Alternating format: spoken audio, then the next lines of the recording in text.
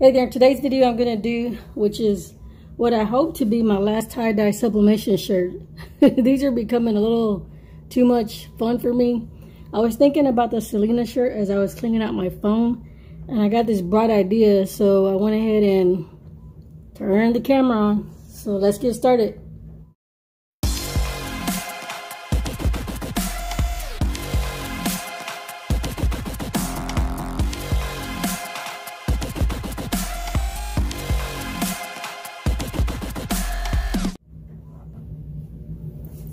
Okay, so same shirts as last time. This is the last one. I only I had only purchased three originally.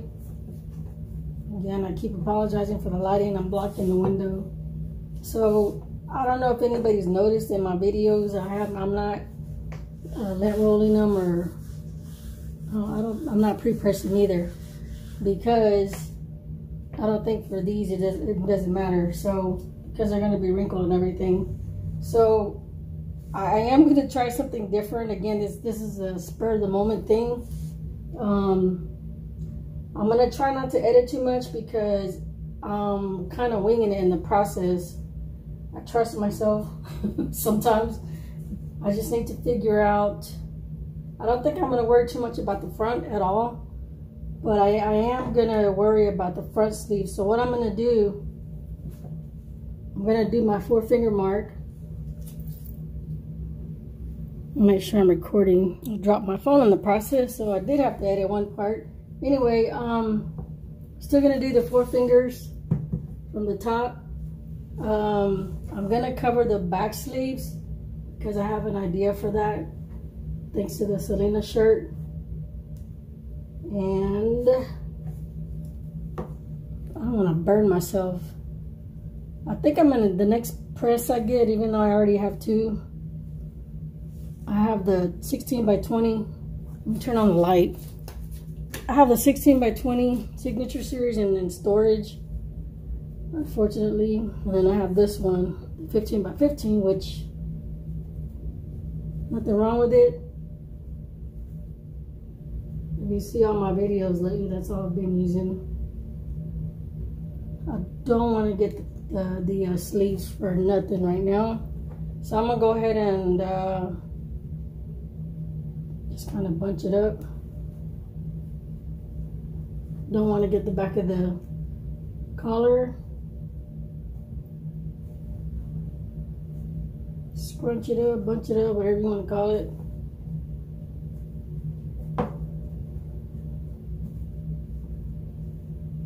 Uh, I'm not going to do the back again or on this one either. So I'm going to hide the back of the shirt. Temperature's not ready, so I'm gonna put you on pause.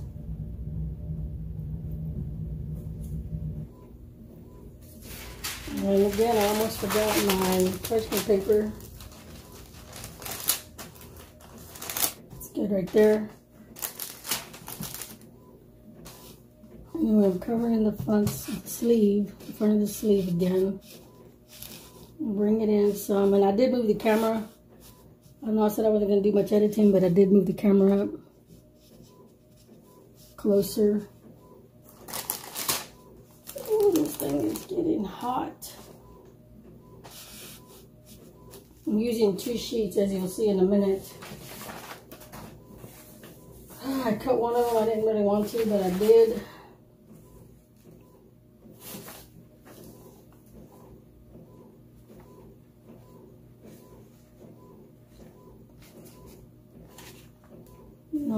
Reason to this. I had some extra pieces, so I'm going to use them.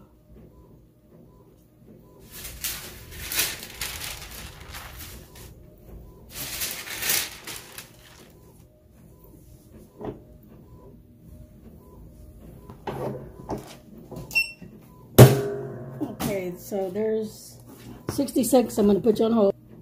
Okay, we got uh, seven seconds left. For another print.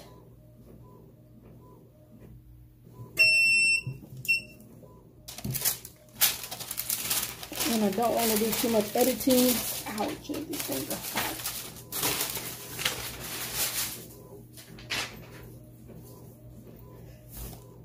Ooh, was hot. Ouch. Bear with me.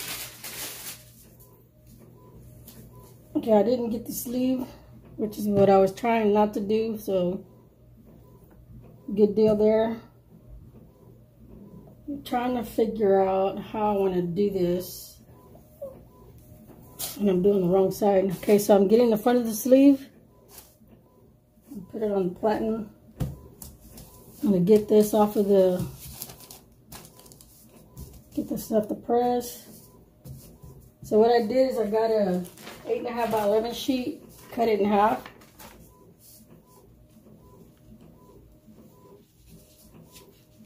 Doesn't have to be perfect. Actually, I should have put it another sheet. That's what I should have done. I thought this would fit because it was eight and a half for a small shirt.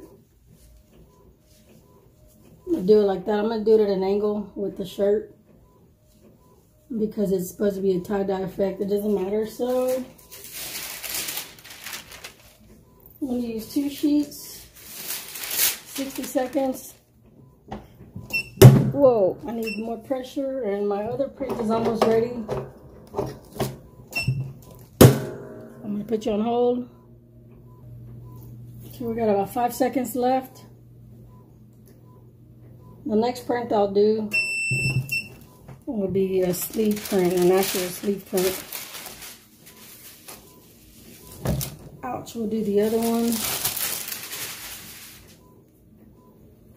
Just trying to do something different with these tie-dye sublimation shirts. Yeah, the next one I'll definitely have to do uh, definitely have to do something different. I'm not, oh crap, I better use something on the bottom. yeah the next shirt or to give you ideas I would use a I guess a sleeve print again I'm just doing going at an angle with the sleeve my other print is ready 60 seconds put it on pause okay we got about four seconds it would look cool to do the back, but I'm only doing front prints, so and experimenting at the same time. I like to be different. Okay, so now for the front.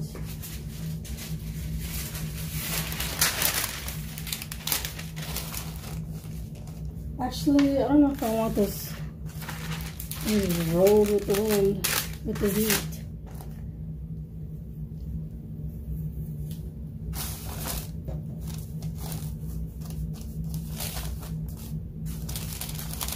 I don't because because I used up my colors here. I think I'm going. Uh, I don't know if I want this full. I'm gonna cut this. I want to be different. I'm gonna cut this just to be different.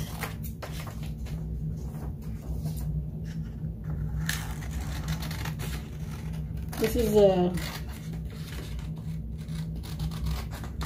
Juneteenth shirt.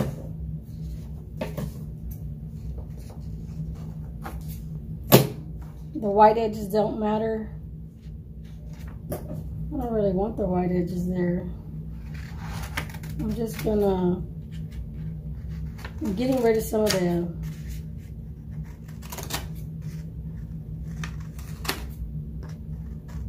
some of the edge effect, I guess you could say.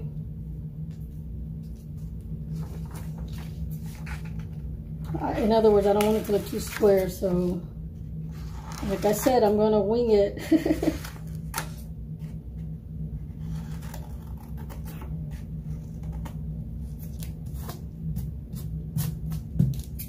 Try not to edit too much either. So, I wasn't kidding. Anyway, so let's see how it comes out. So we're gonna do four fingers is right there by the green.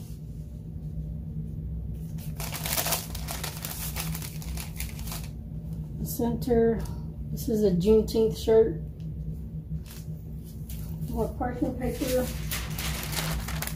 I was gonna use black in here, on here, but because there was a lot of white, um, I was gonna experiment with just leaving, doing the sleeves black. So we'll see how it comes out. So give me about 45 seconds. Okay, we got about five seconds left.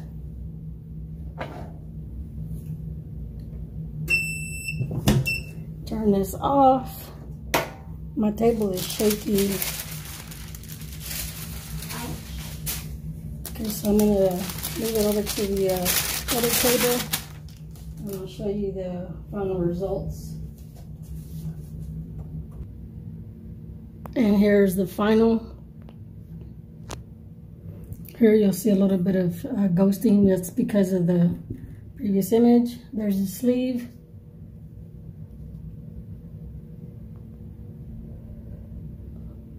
Not too bad. It's the only thing I got on the back.